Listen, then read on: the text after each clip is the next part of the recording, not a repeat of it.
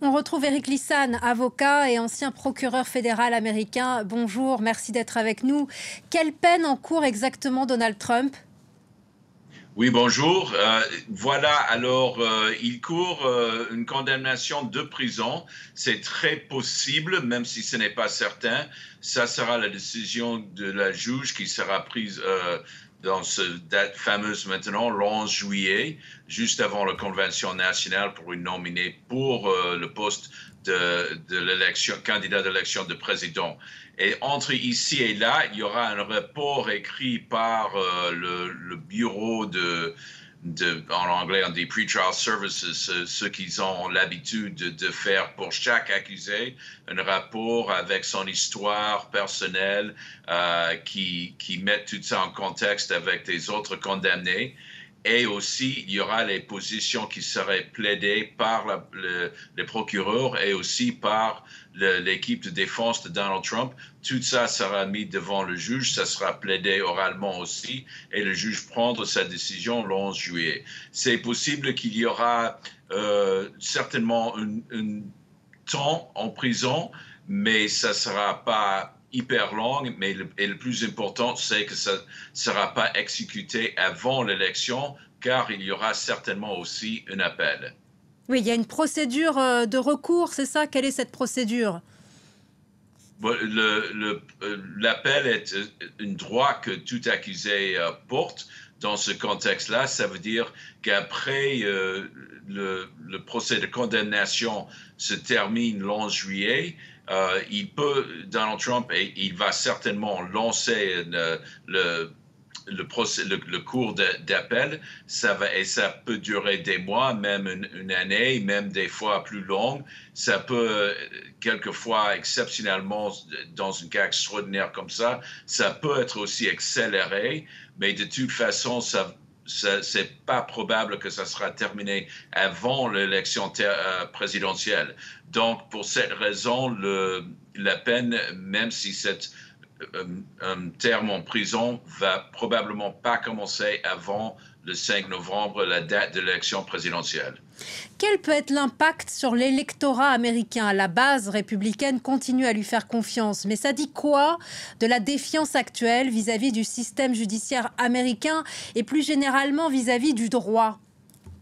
Oui, c'est une très bonne question et personne vraiment euh, peut savoir euh, la réponse. Donc, il faut voir. Certainement, ce n'est pas une bonne chose, même s'il tente de, peindre un portrait comme ça. Et je crois qu'avec le temps, euh, peut-être ça peut changer un peu, mais ça va quand même continuer à nuire contre lui. Ça restera une grande question pendant toute l'élection, même si l'élection, il y a encore plusieurs mois entre ici et novembre. Et euh, même euh, pour, surtout, je veux dire, pour les voteurs euh, au milieu qui ne sont pas encore décidés, qui ne sont pas, pour une raison ou l'autre, encore impliqués, ils n'ont pas pris leur décision, ça peut changer quelques-unes et dans une élection serrée, ça peut faire toute la différence.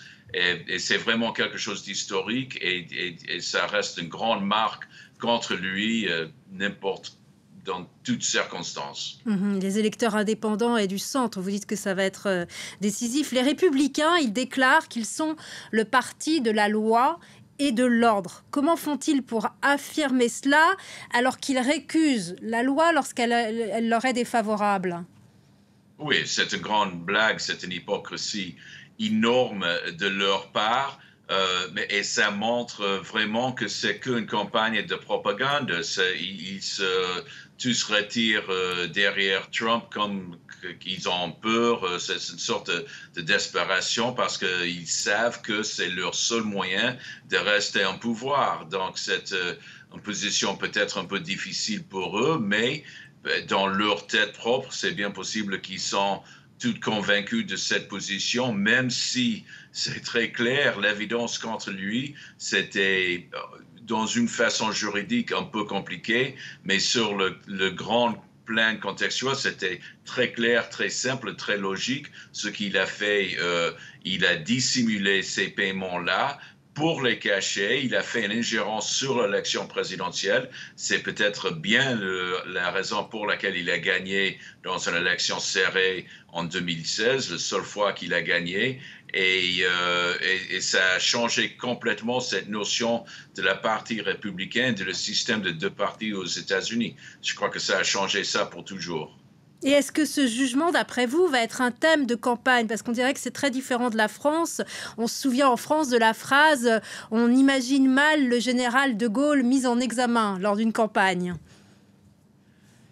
Oui, ben c'est un grand premier aux États-Unis aussi. C'est exactement ça. C'est même c'était impensable. Il y aura deux, trois ans, personne n'aura pu penser que c'était possible. Mais Trump, euh, c'est un caractère, il voulait forcer, forcer à tout prix. C'est une bataille personnelle et existentielle pour lui, car s'il perd, il perd tout. C'est pas seulement la question de prison. Il y a trois autres procès euh, énormes derrière euh, celui-là.